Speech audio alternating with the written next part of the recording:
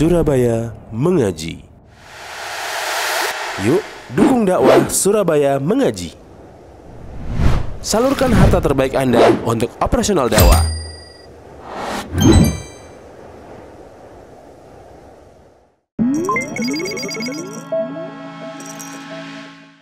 Assalamualaikum warahmatullahi wabarakatuh. Innal hamdalillah nahmaduhu wa nasta'inuhu wa nastaghfiruh wa na'udzu billahi min shururi anfusina wa min sayyiati a'malina man yahdihillahu fala mudhillalah wa man yudlil fala hadiyalah واشهد ان لا اله الا الله وحده لا شريك له واشهد ان محمدا عبده ورسوله Salawatu Rabbina wassalamu alaihi wa ala alihi wa sahbihi wa man istanna bi sunnatihi ila yaumil qiyamati wa ba'd. Bapak Ibu sekalian, kaum muslim muslimat jamaah salat subuh Masjid Assalam rahimani wa rahimakumullah. Alhamdulillah. Bismillahirrahmanirrahim. Pertama-tama marilah senantiasa kita bersyukur kepada Allah Subhanahu wa taala atas nikmat demi nikmatnya yang tidak ada hentinya. Allah Subhanahu wa taala curahkan kepada kita sekalian. Di antaranya pada pagi hari ini kita masih diberikan kesempatan untuk bisa melangkahkan kaki kita menuju masjid yang mulia ini dalam rangka untuk melaksanakan kewajiban kita. Mudah-mudahan Allah Subhanahu wa taala menerima segala apa yang kita upayakan dan mudah-mudahan Allah Subhanahu wa taala menambahkan nikmat-nikmatnya kepada kita sekalian. Allahumma amin. Dan insya Allah pada pagi hari ini Bapak Ibu sekalian kita akan memulai uh, perjalanan kita dalam pembahasan kitab yang baru yaitu kitab Arba'un Hadisan fi Tarbiyati wal Manhaj 40 hadis dalam yang terkait dengan pendidikan dan manhaj yang ditulis oleh Syekh Dr. Abdul Aziz Ibn Muhammad As-Sadhan Hafizahullah Ta'ala wara'ah maka Bapak Ibu sekalian rahimani wa rahimakumullah sebelum kita masuk ke dalam hadis demi hadisnya maka mari kita membaca untuk mendapatkan keberkahan dari kitab ini kita baca dari mukaddimah penulis. Berkata al-muallif hafizahullahu ta'ala wa ghafara wa iyana ajma'in. Bismillahirrahmanirrahim Muqaddimah. Alhamdulillahi Rabbil Alamin Wassalatu wassalamu ala rasulillahi wa ba'd e, Muqaddimah setelah beliau memuji Allah dan bersalawat atas Nabi Maka setelahnya beliau mengatakan Falakat tataba ajamun min ahli ilmi ala ifradi musannafin yahwi arba'ina hadithan. E, Sungguh telah banyak di antara para ulama, para ahli ilmu yang semenjak dulu mereka mengumpulkan sebuah tulisan sebuah kitab yang berisi 40 hadis. Wa haula'il musannifuna kuthur jiddan. Yang mana para ulama yang menulis atau mengumpulkan 40 hadis menjadi sebuah kitab maka ini banyak sekali. Hatta qala al-Imam An-Nawawi rahimallahu taala, bahkan Al-Imam An-Nawawi rahimallahu taala beliau hingga berkata, wa qad sannafa al-ulama radhiyallahu anhum fi hadzal bab ma la yuhsa minal musannafat. Dan banyak di antara para ulama yang telah menulis dalam bab ini jumlah tulisan yang tidak bisa dihitung saking banyaknya Fa'awwalu man sannafa maka yang pertama kali mengumpulkan 40 hadis ya. Kemudian Imam Nawawi menyebutkan beberapa di antara para ulama yang dulu menulis 40 hadis.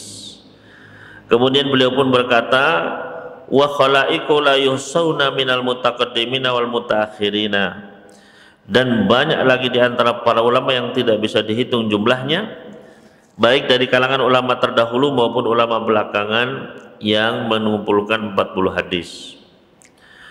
Kultu maka kata penulis di sini fakaifa biman ja'a ba'dal Imam Nawawi rahimallahu taala. Kalau di zamannya Imam Nawawi saja sudah tidak terhitung jumlahnya apalagi setelah setelah beliau sampai saat ini. Wa ma takhsisu adadil arba'ina. Adapun kenapa kok para ulama ini mereka mengumpulkan 40 hadis? Ya.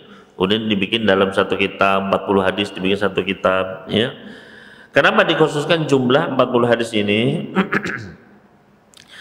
Maka berdasarkan sebuah hadis, man hafidhu ala ummati arba'ina hadisan.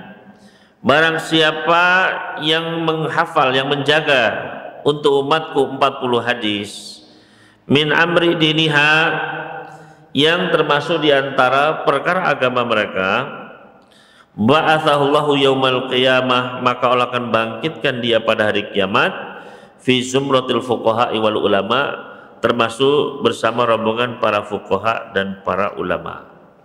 Ya. walahu alfadun ukhra bitarikin biturukin ukhra. Yang mana hadis ini datang dengan lafaz-lafaz riwayat yang berbeda-beda ya. Juga dengan jalan-jalan periwayatan yang berbeda-beda. Namun waqad dha'afahu jamun min ahli ilmi hadis ini dilemahkan oleh para ulama kita faqad nuqila 'anil imam Daruqutni annahu qol bahkan telah dinukil dari Imam Daruqutni ya seorang ulama besar dalam ilmu hadis Syekhul Islam fil hadis beliau pernah mengatakan la yathbutu min hasyai tidak ada di antara riwayat-riwayatnya yang yang sahih. Ya, jadi hadis ini adalah hadis yang lemah. Wa qala Nawawi bahkan Imam Nawawi pun berkata, wattafaqal huffaz para penghafal hadis sepakat semuanya. Ala anahu haditsun dhaifun bahwasanya hadis ini adalah hadis yang hadis yang lemah. Wa in kathrat turuquhu meskipun jalan periwayatan hadisnya banyak sekali tapi semua syaratnya adalah uh, lemah. Lakin al-Imam An-Nawawi rahimahullah taala akan tetapi Imam Nawawi menyebutkan annal ulama ittafaqu ala jawazil amal bil hadits dhaif fi fadailil amal. Beliau menyebutkan bahwasanya di antara para ulama mereka pun menyepakati bolehnya untuk beramal dengan hadis dhaif pada fadailul amal ya. Tentu saja dengan dengan syarat-syaratnya. Sumakal kemudian beliau pun mengatakan wa ma'adzalika namun bersama dengan itu falaisa timadi ala hadal hadis. Imam Nawawi menulis 40 hadisnya tersebut bukan berdasarkan hadis yang lemah tersebut. Ya beliau tidak tidak berdalil dengan hadis yang lemah tadi tapi beliau berhadis dengan hadis yang lain. Bal ala qaulihi sallallahu alaihi wasallam fil ahadits sahihah akan tetapi beliau bersandar kepada hadis-hadis lain dari Nabi sallallahu alaihi wasallam yang sahih. Di antaranya adalah liyuballigh syahidu minkumul ghaib. Hendaknya orang yang hadir di antara kalian menyampaikan kepada orang yang tidak hadir. Begitu pula sabda Nabi sallallahu alaihi wasallam nadarallahu mra'an sami'a maqalati fawa'aha fa'addaha kama sami'aha. Semoga Allah mencerahkan wajah seseorang yang dia mendengar sabdaku kemudian dia memahaminya kemudian dia sampaikan sebagaimana dia mendengarnya. Maka ini yang dijadikan sebagai dalil oleh Imam Nawawi untuk beliau menulis kitab Arba'in tersebut yaitu menyampaikan hadis-hadis ya yang beliau hafal kemudian beliau sampaikan kepada kepada umat. Wal jamil kal ahadis al arba'in dan tema-tema yang dikumpulkan oleh para ulama dari 40 hadis ini ini macam-macam. Taratan yakunu muta'alliqan bil matni kadang-kadang sebab dikumpulkannya itu kesamaannya temanya adalah terkait dengan matannya, redaksi redaksi hadisnya. Wataratan yakunu muta'alliqan bisanad terkadang yang menjadi kesamaannya temanya adalah bukan redaksinya tapi sanatnya, sanat perawinya. Wataratan bibaladin, kadang kesamaannya itu karena perawinya datang dari satu negeri yang sama. Ya, hadis-hadis yang datang dari perawi dari Irak misalnya, gitu. Ya. Wataratan bisana di wal baladi sawiyan terkadang ya adalah dimix antara sanat dengan dengan negeri. Ya. Ila goiri dan juga eh, tema-tema lain yang dikumpulkan oleh para ulama wa yadkhulu tahta dzalika anwa'un katsirah dan banyak sekali tema yang telah dikumpulkan oleh para ulama kita contohnya famithalul muta'alliq bil matni. Contoh 40 hadis yang terkait dengan redaksi hadisnya. Fi maudhu'in muayyan dalam tema khusus. Contohnya adalah arba'una fi dalail tauhid. 40 hadis mengenai dalil-dalil tauhid. Ditulis oleh Al-Imam Al-Harawi rahimallahu taala. Juga Al-Arbaun haditsan fi ala madhhabi ahli sunnah. 40 hadis tentang madhab ahli sunnah. Ini ditulis oleh Al-Imam Abu Nuaim Al-Asbahani rahimallahu taala. Begitu pula Arbauna fi sifat Rabbil Alamin 40 hadis tentang sifat-sifat Rabbul Alamin, sifat Allah ditulis oleh Al-Imam Az-Zahabi rahimallahu taala. Kemudian Al-Arba'una fi hathi 'alal jihad. 40 hadis tentang ya motivasi penyemangat untuk berjihad. Ini ditulis oleh Al-Imam Ibnu Katsir rahimallahu taala. Kemudian Al-Arba'una fi istina'il ma'ruf. 40 hadis tentang motivasi untuk berbuat kebaikan ditulis oleh Al-Imam Al-Hafidh Al-Munziri Kemudian al-arbauna firad il mujrimi an sabbil muslim 40 hadis tentang peringatan kepada orang yang pendosa agar tidak mencela sesama muslim. Ini ditulis oleh al-Imam Ibnu Hajar, Al-Hafidz Ibnu Hajar Al-Asqalani. Kemudian contoh lainnya yang terkait dengan matan ya fi umumil ahkam tentang hukum-hukum yang yang luas adalah Al-Arbaun dari Imam Nawawi 40 hadis yang ditulis oleh Imam Nawawi dan terkenal dengan namanya Al-Arbaun An-Nawawiyah.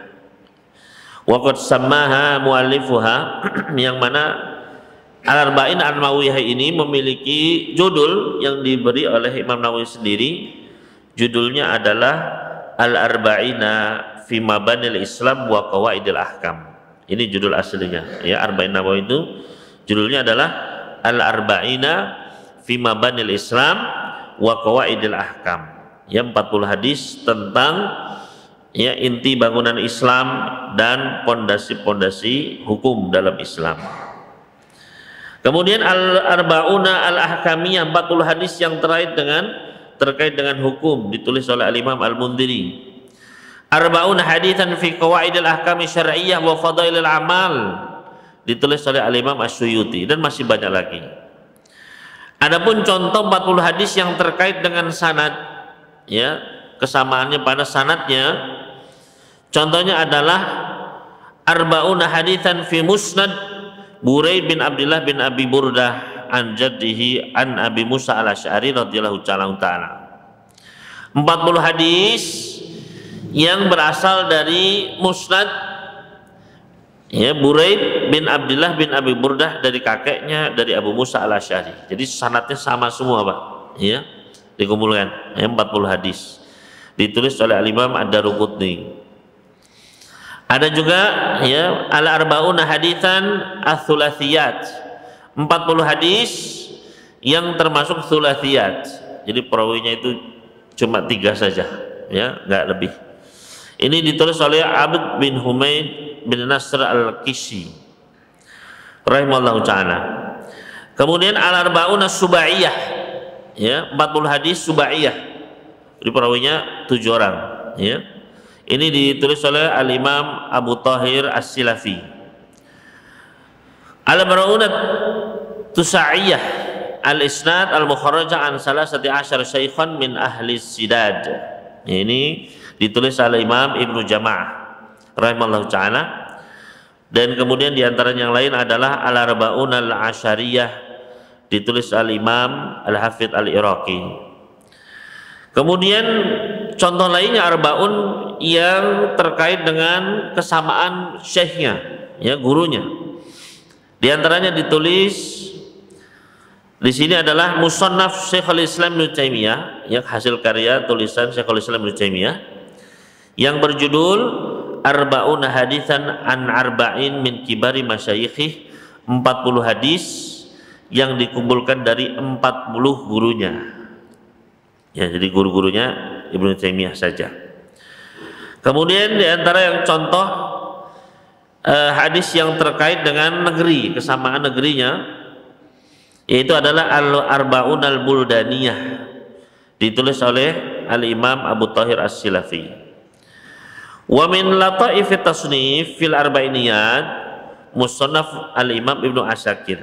Di antara ya musannaf yang unik ya itu adalah uh, tulisan yang ditulis oleh Al-Imam Ibnu Asakir yang berjudul Arba'una hadithan li arba'ina syaikhan min arba'ina baldah 40 hadis yang disampaikan oleh 40 syekh dari 40 negeri yang berbeda. Ya. Ini karya Al-Imam Ibnu Asakir. Kemudian di sini penulis beliau melanjutkan wa ana adapun saya fi musannafi hadhihi dalam tulisan saya ini ada atasyabbahu biman sabak. Saya berusaha untuk meniru meneladani para ulama yang telah telah terdahulu rahimahumullah. Fi asma'i musannafatihim dalam menamai kitab-kitab mereka ya. Orang-orang ya salih para ulama kita mereka menulis arbaun hadisan gitu. Maka di sini pun penulis juga berusaha untuk meneladani mereka ya Wallaha as'alu saya memohon kepada Allah an yarzuqana tasyabuha bihim agar Allah memberikan kepada kita untuk bisa meneladani meniru mereka. Fi sadiqi himmatihim dalam jujurnya ya jujurnya tekad-tekad mereka niat-niat mereka. Wa quwwati azimatihim dan kuatnya ya kemauan mereka. Fil ilmi wal amali baik dalam ilmu maupun dalam beramal. La'alla Allah ta'ala an yaj'ala jami'aha wa qari'aha wa sami'aha wa naqilaha wa syarihaha wa nasiraha mimman yashmulhum qawluhu sallallahu alaihi wasallam. Nadarallahu mra'an sami'a maqalati fa addaha kama sami'aha.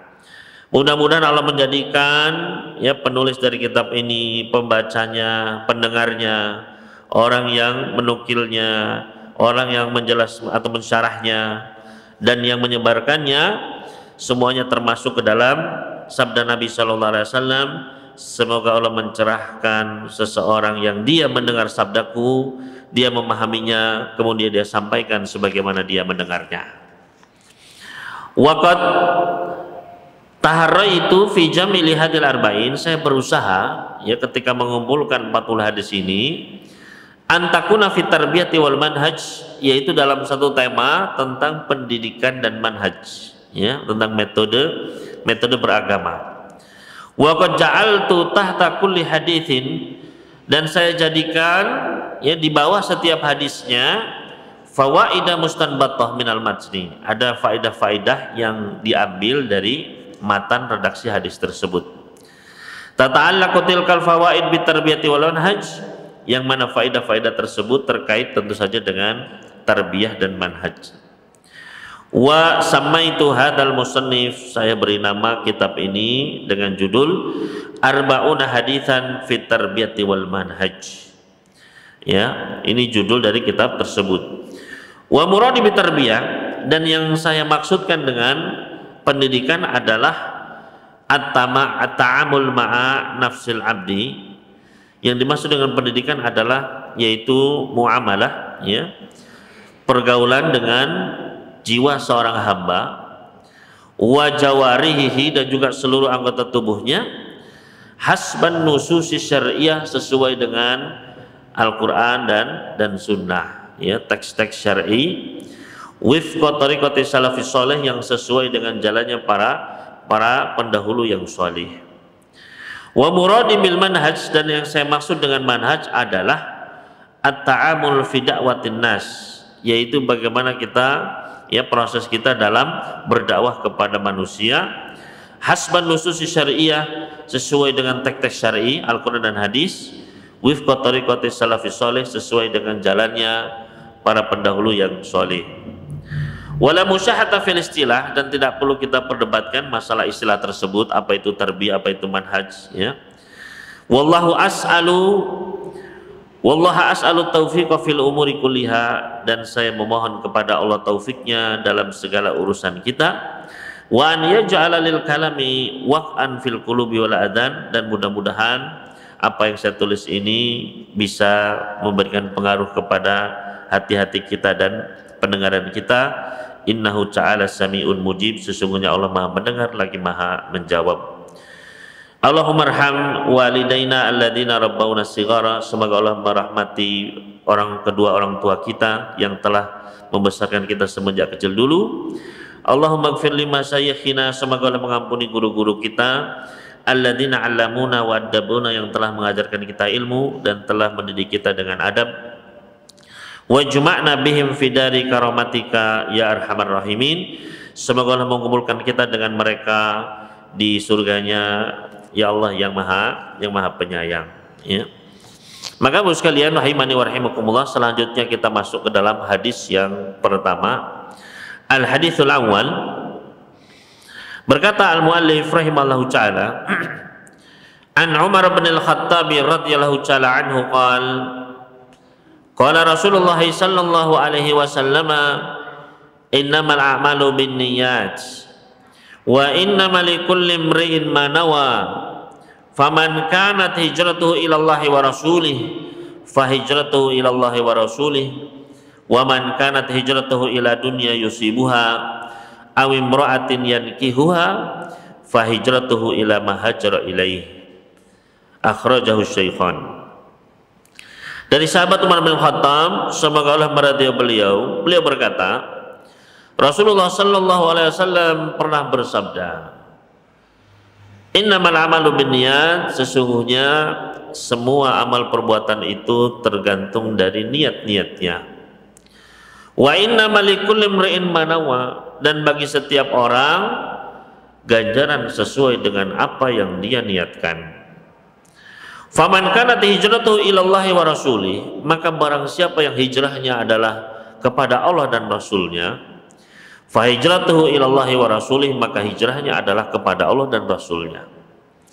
Wa man kanat hijratuhu ila dunya yusibha namun barang siapa yang hijrahnya adalah kepada dunia yang ingin dia raih aw imra'atin yankiha atau wanita yang ingin dia nikahi fahijratu ila mahajar ilaih maka hijrahnya adalah kepada apa yang dia tuju ya maka bagus sekalian rahimani wa rahimakumullah Berkata penulis ini, beliau memberikan ya catatan dan beberapa faedah. Beliau berkata di sini, innama ada tuhasrin, ya innama itu adalah sifatnya hasr pembatasan, ya. Jadi ketika ada kata innama, ya, ini mananya adalah pembatasan. Jadi semua amal, ya, itu hanyalah tergantung dari dari niat-niatnya ya. Ini kita bisa pelajari dalam ilmu balaghah ya ketika belajar ilmu ma'ani. Maka salah satunya adalah eh, bab pembahasan tentang al-hasr ya. Yaitu membatasi sesuatu ya kepada sesuatu dengan turukul qasil ma'rufah dengan metode-metode eh, untuk pembatasan yang yang telah diketahui maka di sini pun ada inama, ya menunjukkan memang amal itu ya sesungguhnya semua hanyalah ya tergantung dari dari niatnya. Ya. Kemudian wa qauluhu adapun sabda Nabi sallallahu alaihi wasallam innamal amalu binniyat fihi i'tibarun niyyah fi jami'il a'mal di sini adalah bahwasanya niat itu adalah sangat berpengaruh terhadap seluruh amal-amal perbuatan hamba ya. Nah ini uh, menjadi peringatan bagi kita sekalian ya agar benar-benar memperhatikan niat kita. Ya.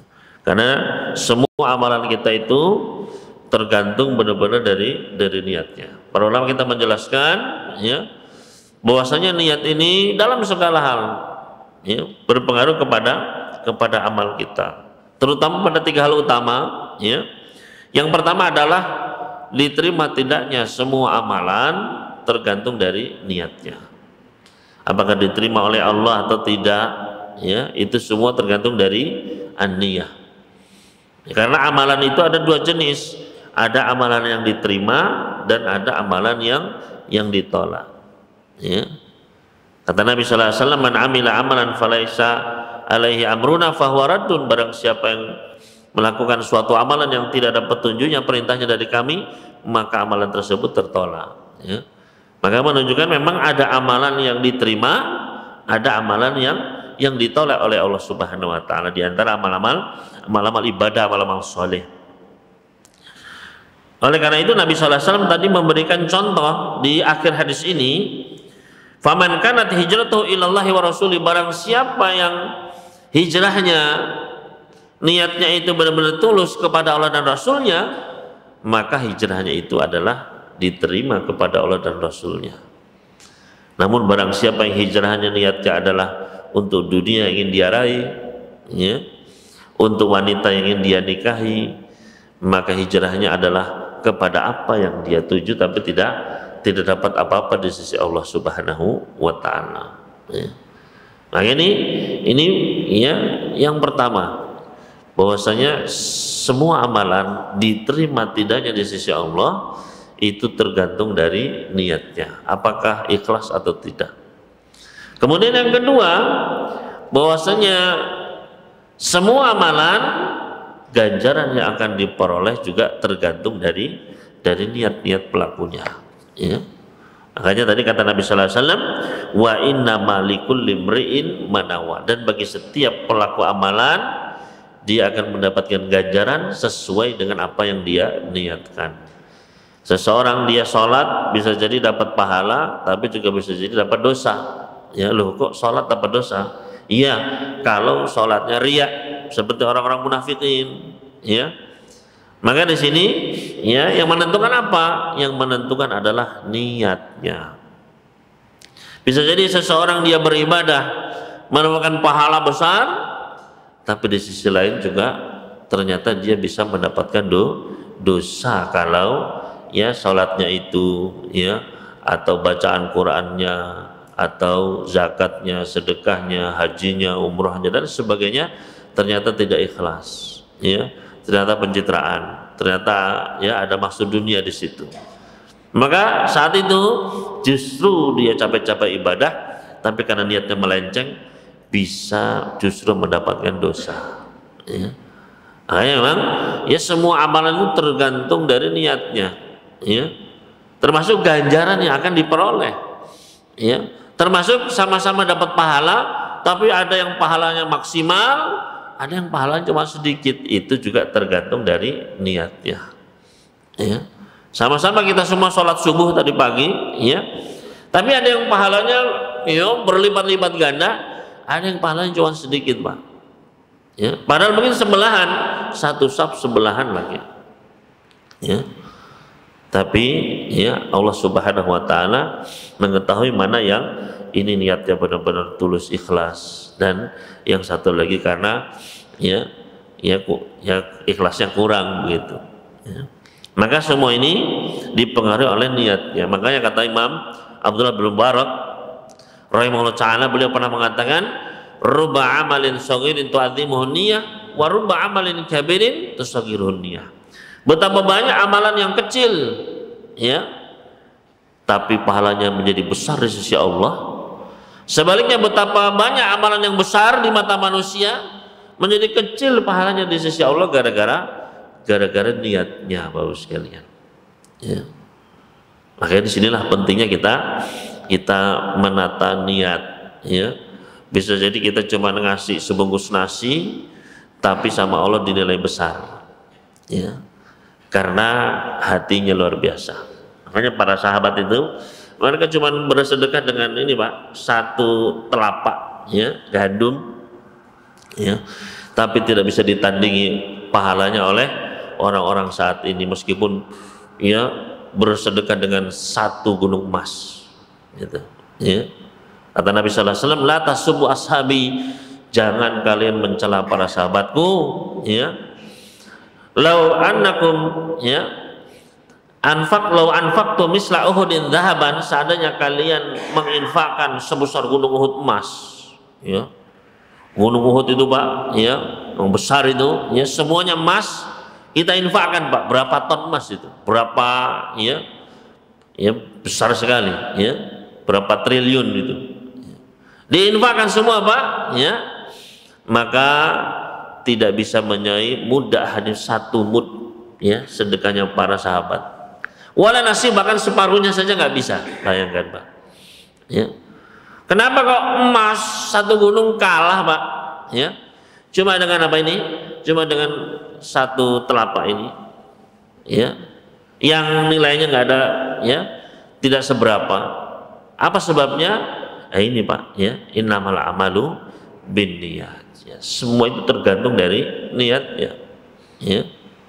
Jadi yang pertama tadi diterima tidaknya amal kita itu tergantung dari niatnya maka harus dijaga. Niat dulu nomor satu.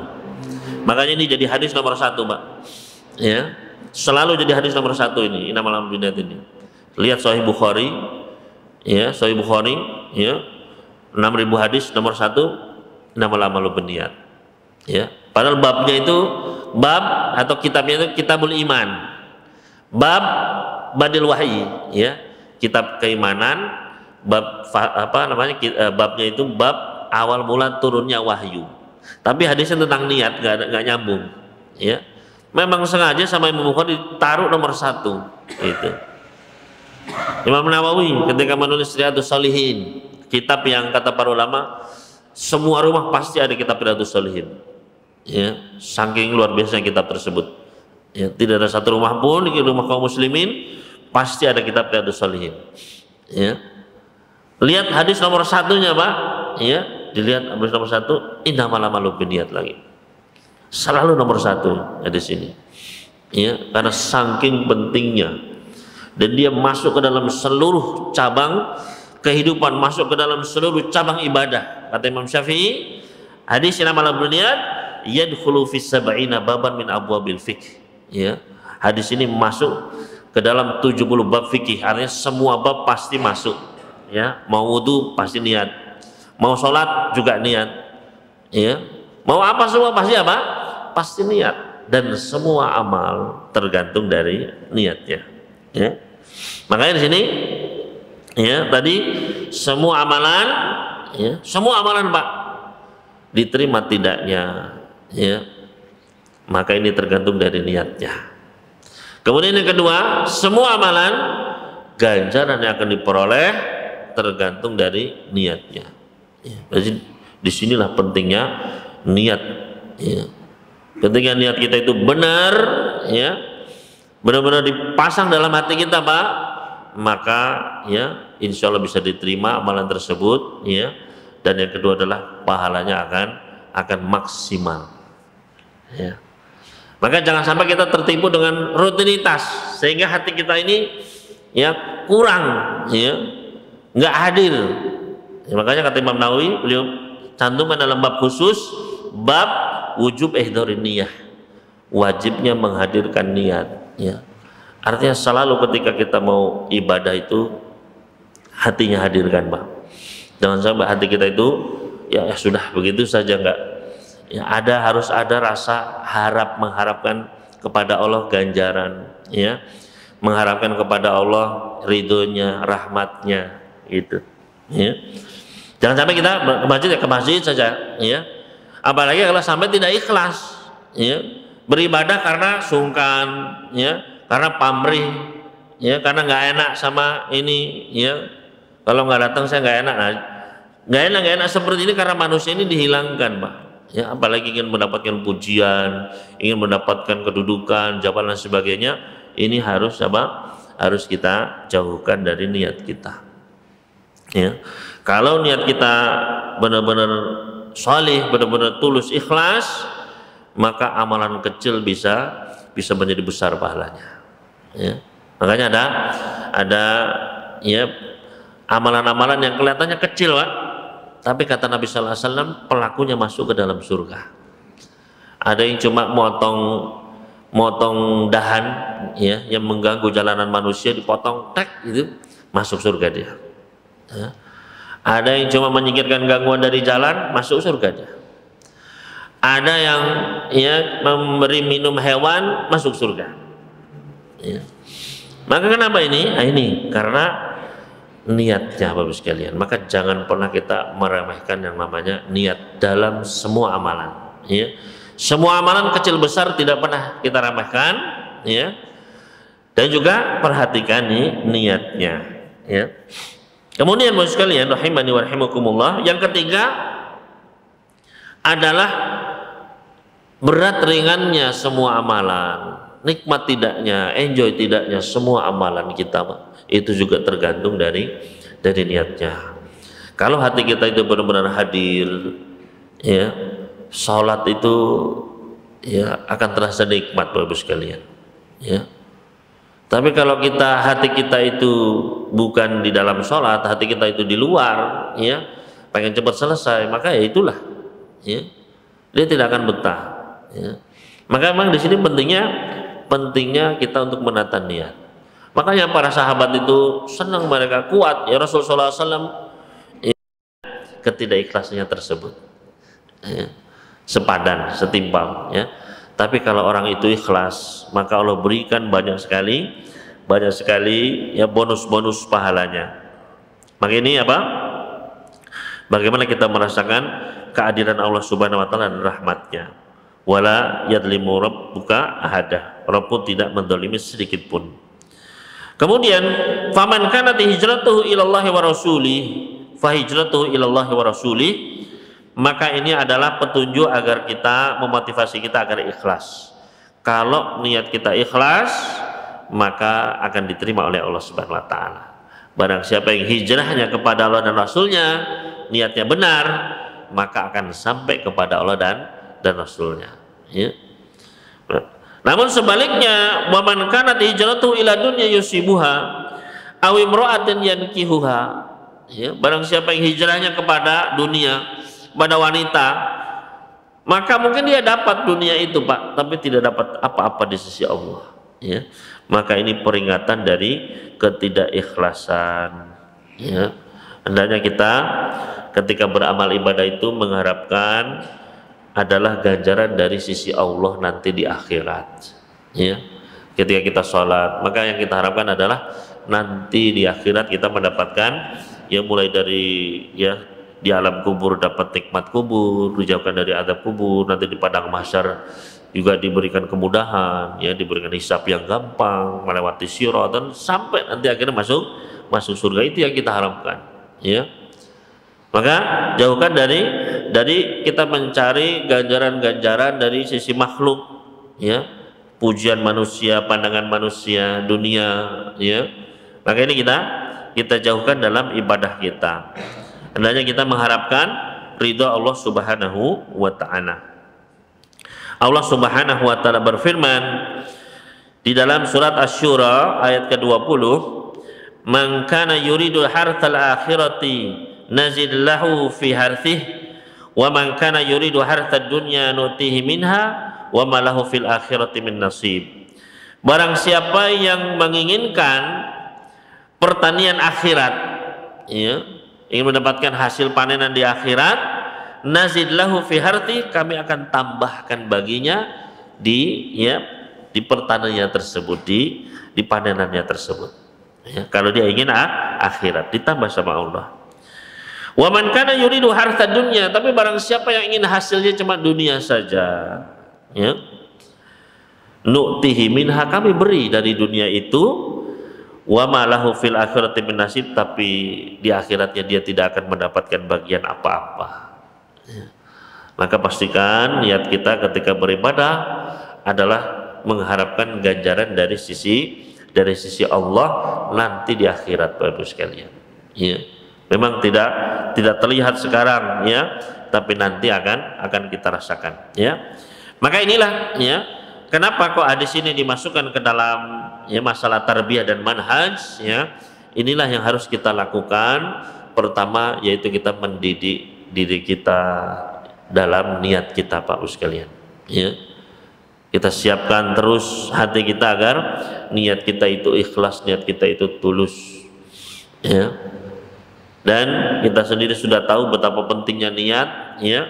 Bahkan ketika seseorang itu baru saja berniat maka dia sudah mendapatkan pahala ya.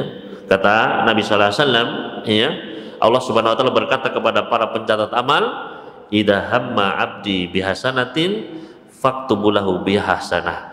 Kalau hambaku sudah niat mau melakukan suatu kebaikan tulislah baginya satu kebaikan ya Wa kalau dia sudah melakukannya tulislah 10 sampai 700 kebaikan ya. Maka dengan kita berniat saja itu sudah mendapatkan satu kebaikan ya. Maka hendaknya seorang dia memanage ya masalah niat ini. Dari pagi sudah kita niatkan mau apa saja ya dari ibadah-ibadah ya mulai dari pagi wah saya nanti mau dengarkan mau sholat berjamaah terus mau ya ikut kajian terus habis itu mau sholat suruh habis itu nanti mau baca Quran setelah itu nanti mau itu sudah kita tata bagus sekalian. Niat niatkan ya. Kita tidak rugi apa-apa nggak rugi waktu belum rugi tenaga biaya apa nggak keluar. Cuma niat saja ya. Itu saja sudah apa berpahala ya kalau terlaksana, ya tambah lagi pahalanya. Ya, kalaupun tidak, ya sudah dapat tadi pahalanya. Ya. Nah, ini yang kita banyak kita dilalaikan. Ya kita ya jauh dari ilmu seperti ini. Sehingga apa? Kosong hari kita itu dari dari niat-niat baik, ya. Maka mari kita hidupkan hati ini. Ya, hati yang hidup adalah hati yang penuh dengan niat-niat kebaikan Bapak Ibu sekalian. Ya jangan sampai kita itu hati kita itu mau kebaikan aja bingung pak saking nggak pernah dia ya melatih niatnya. Ah, saya mau mau kebaikan apa ya? Bingung ya. Padahal kebaikan itu banyak sekali ya. Menolong tetangga membersihkan rumah bekerja banyak ya. Tapi kalau tidak diniatkan bapak sekalian percuma. Ya kita kerja secapek tiap hari tapi nggak ada sedikit pun mengharapkan pahala dari sisi Allah. Maka pahalanya pun ya mungkin dapat tapi kecil bapak sekalian Coba ketika setiap hari kita keluar kantor, ya, keluar bekerja, niatkan ya Allah, ya, saya bekerja adalah untuk memenuhi perintahmu ya Allah. Ya, untuk mencari nafkah rezeki yang halal ya Allah, permudahlah jalan saya untuk rezeki yang halal. Ya, ini hati yang ya, hidup seperti ini Bapak sekalian. Selalu dia komunikasi dengan Allah Subhanahu wa taala, selalu mengharap ya. Nah, kita itu banyak kan apa? lalai hati kita itu, buru-buru dan sebagainya, ya maka inilah pentingnya hadis ini. Innamal amalu kan semua amal kita, Pak, ya. Itu tergantung dari niatnya dan kita banyak rugi umur kita ini pahalanya nggak maksimal itu ya gara-gara ini gara-gara kita kurang dalam memanage niat kita kita lalai selama ini ya coba kalau kita ya setiap hari sudah niatkan 100 kebaikan dalam sehari sudah dapat 100 pahala bagus sekalian dan bisa jadi ya kita sudah niat ternyata tidak terlaksana. Tapi ternyata Allah beri pahalanya sempurna Bapak sekalian. Padahal tidak terlaksana. Ya. Karena apa? Karena saking tulusnya niat kita Allah tahu itu. Ya. Di antaranya Nabi sallallahu bersabda, "Idza ketika ada orang mau tidur, Pak. Di malam hari dia mau tidur. Ketika mau tidur, wahwa yanwi an yakum yusalli, dia niat, ya, wahwa yanwi dia niat, Pak. Ya. Bahwa saya ya Allah nanti malam saya saya ingin bangun malam, saya ingin sholat tahajud 11 rakaat ya Allah. Ya. Tidak usah dilafatkan Pak ya katanya, ya pokoknya dia niat dalam hati, ya. Bukan ya, saya niatkan nanti gini gini gini bukan Pak ya. Niat itu dalam hati tempatnya Pak, ya. Idza rajulu ila firashihi wa huwa yanwi Ketika seorang mau tidur, dia niat dalam hatinya, ya Allah, nanti malam saya pengen bangun ya Allah, permudah ya Allah. Sebelah rakaat tahajud, ya. Ternyata apa yang terjadi? Faghalabat aina hatta yusbiha. Ternyata kedua matanya mengalahkan dia sampai subuh. Ya. Begitu subuh, Allahu Akbar, Allahu Akbar, dia baru bangun Pak. Ya sudah tidak bisa sholat malam, sudah lewat malamnya. Maka apa yang terjadi? Kata Nabi Alaihi Wasallam, kutibalahu mislu manawa wa kana naumuhu sadaqatan min rabbi. Ditulis baginya pahala seperti apa yang dia niatkan dan tidurnya adalah sedekah dari Rabbnya. Ya. Jadi dia apa? Tidur, pulas, ya. Bangun-bangun sudah subuh, ya. Ternyata sudah ditulis 11 rakaat tahajud. Bayangkan, Pak. Ya. Modalnya apa? Modalnya adalah an-niyah, niat di dalam hati yang benar-benar tulus, ikhlas. Ya. Maka kita niatkan ya semua amalan Pak ya saya niatkan pengen haji ya Loh kamu kan nggak punya uang, nggak punya, ya nggak apa-apa kita niatkan saja pak. Ya kalau Allah berkehendak apa sih yang mustahil bagi Allah? Maka kita bisa dapat pahala tiap tahun haji pak. Ya dari Allah Subhanahu kalau memang kita niatkan. Tapi kan kita jarang yang yang membahas ilmu seperti ini, ilmu tentang niat ini. Ya akhirnya tiap tahun nggak ada niat haji. Ya nggak ada niat kebaikan-kebaikan yang ya besar saya ingin ini saya ini itu nggak ada. Ya maka hati ini penting sekali untuk kita manage ya, niatnya. Kita ingin apa sih? Ya. Kita ingin saya ingin mati syahid ya. Maka apa kata Nabi sallallahu alaihi wasallam ya? Man salallah syahadah barang siapa yang minta mati syahid sama Allah. Ya. Khalisan min dengan tulus ikhlas dia benar-benar minta A'tahullahu syahadah wa in mata ala firasya. Allah akan kasih dia mati syahid meskipun meninggalnya di atas kasurnya. Di medan perang ya. Di atas kasurnya. Meninggal mati syahid pak. Ya tergantung apa pak? Tergantung niatnya ya. Dia ngarep apa tidak makanya ketika berdoa pun ini hati ini paling penting pak ya ketika doanya itu hatinya nggak hadir wa'lamu annallaha la yastajibu du'aan min qalbin ghafilin lain. Ketahuilah Allah nggak akan menjawab doanya yang datang dari orang yang hatinya ghafil lalai. Ya. Lain nggak ada ngarep. Ya. Makanya doanya orang yang terzolimi itu langsung naik ke atas itu kenapa sih, Pak? Ya. Kata para ulama, karena hatinya benar-benar hadir. Orang yang terzolimi itu benar-benar kesel dia, Pak. Dia dizolimi, ditipu sama orang, ya, maka dia benar-benar sakit hatinya apa? Itu harta satu-satunya diambil lagi. Ya. Maka dia benar-benar minta sama Allah, ya Allah, saya terzolimi ya Allah. Tolong berikan ya apa begitu keburukan baru. Dia benar-benar ngarep pak. Ya. Makanya begini pula ketika kita ya beramal, ya hati ini harus benar-benar hadir. Ya. Ketika berdoa benar-benar ngarep. Ya karena kebanyakan manusia doa ya doa saja amin amin tapi tidak paham ya. Kita tadi sholat misalnya membaca surat Al-Fatihah di situ ada doanya. Ihdinas siratal mustaqim ya Allah tunjukilah kami jalan yang jalan yang lurus. Siratal ladzina an'amta alaihim jalannya orang-orang yang sudah engkau beri nikmat kepada mereka. Para nabi, para rasul, orang-orang soleh, para sahabat.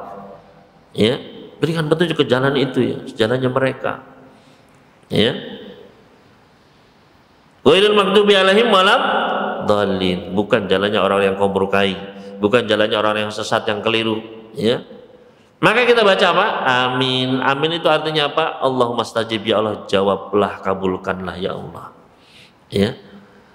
Tapi kenapa banyak orang sholat tidak mendapatkan petunjuk? Ya karena ketika sholat ya tidak hadir hatinya.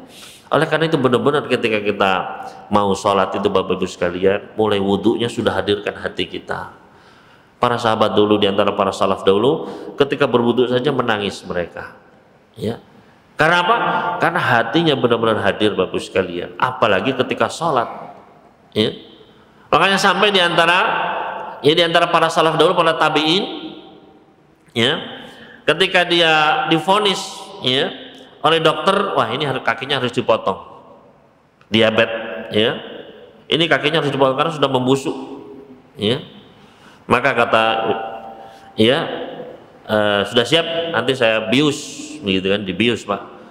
Kata ya tabiin ini ya uh, kata Urwah ya kata beliau nggak usah dibius tidak usah dibius dak nih usolli biarkan saya sholat nanti kalau saya sudah sholat silahkan dengan lakukan apa saja. Silahkan dokter. Ya. Diapakan sudah. Yang penting biarkan saya sholat. Ya. Ya betul. Akhirnya dia sholat ya. Ketika sholat langsung digergaji pak. Gerak gerak gerak gerak begitu ya. Ya memang akhirnya beliau pingsan. Namanya sakit pak ya. Tapi ya begitu karena ya sholat itu benar-benar luar biasa. Hatinya benar-benar hadir di situ. Ya maka di sini pentingnya ini pak innamal a'malu niat semua amalan itu pak. Ya ya sholat kita ya doa kita ya semua. Itu tergantung dari niat yang ada di dalam hati kita. Ya. Maka benar-benar kita kita jaga kita perhatikan kita manage biar amal-amal ibadah kita itu tidak sia-sia, tidak tertolak. Ya. Bayangkan kita sudah capek-capek ibadah, ya keluar dana besar, keluar biaya besar, ternyata ditolak sama Allah Subhanahu wa taala gara-gara tidak ikhlas. Ya. Hanya para ulama benar-benar mereka berusaha untuk menjaga niatnya. Makanya mereka sering menyembunyikan amal-amal mereka. Ya. Ada di antara para salaf dahulu ya berpuasa selama 20 tahun lamanya Pak tapi tidak ada yang tahu bayangkan puasa sunnah istrinya saja nggak tahu sama istrinya dibawakan makanan nanti ya di jalan dikasihkan orang. Itu ya. Nanti pulang ya ya. Ya tidak ada yang tidak ada yang tahu bahwasanya dia itu selama ini berpuasa ya. Ada di antara mereka yang ketika sholat malam menangis ya. Menangis ya. Sampai pilek begitu kan tiba-tiba ada orang ada langkah orang terdengar ya. Maka dia pun mengatakan ma'asyada zuka ya parahnya pilek ini begitu. Wah ini flu parah nih ya. Agar tidak diketahui bahwasanya dia itu menangis ya. Dan ya banyak lagi ya. Di antara para ulama kita dahulu mereka menyembunyikan amal-amal mereka. Tujuannya apa? Untuk menjaga keikhlasan niat mereka ya. Maka Bapak sekalian rahimani wa rahimakumullah ini adalah uh, sekali lagi hadis yang pertama yang penting ya khususnya hendaknya kita mendidik diri kita untuk bisa mengamalkannya ya Baik, mungkin ini yang bisa kita bahas pada pagi hari ini ya. Uh, kurang lebihnya mohon maaf. Mungkin apabila ada pertanyaan dari bos silakan ditanyakan. Silakan. Waalaikumsalam warahmatullahi wabarakatuh.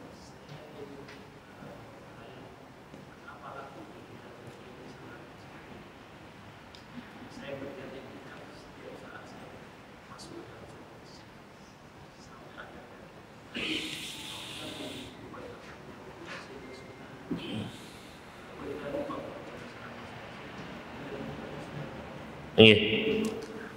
Niat itikaf ya ketika masuk masjid maka ini kembali kepada perbedaan pendapat di kalangan para ulama kita tentang waktu minimal untuk itikaf ya. Ada di antara para ulama yang berpendapat bahwasanya itikaf itu hanya di bulan Ramadan. Khususnya di malam-malamnya. Ada yang berpendapat hanya di 10 hari terakhir di bulan Ramadan. Dan juga ada yang berpendapat minimalnya adalah ya 10 hari ada yang berdebat minimalnya adalah satu hari satu malam. Ya hari ini berdasarkan hadisnya dari sahabat Umar. Sahabat Umar pernah izin kepada baginda Nabi SAW ya Rasulullah saya pernah bernadar untuk itikaf satu malam di Masjidil Haram. Ya apakah saya penuhi nadar saya? Maka kata Nabi SAW penuhi nadarmu. Ya makanya di antara kolom ya menjadikan hadis ini dasar bahwasanya minimal untuk itikaf adalah satu malam berdasarkan hadisnya Umar tadi ya. Adapun apakah niatnya terus menerus ya para ulama kita menjelaskan bahwasanya niat itu adalah setiap kali kita mau beramal ya. Jadi tidak bisa sekali terus untuk seluruhnya begitu tidak karena setiap amal itu berdiri sendiri ya. Ketika memulai amal lagi maka di situ kita berniat lagi ketika selesai ya sudah selesai Ketika mau mulai lagi maka di situ kita membutuhkan niat yang baru. Ya wallahu anak. Masih ada pertanyaan lagi dari Bos sekalian? Mungkin yang bilang.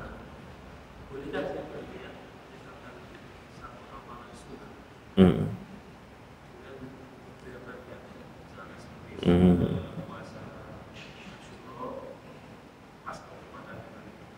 Hmm.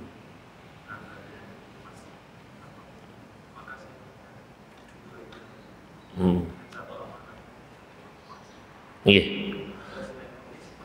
Iya. Jelas insyaallah. Iya.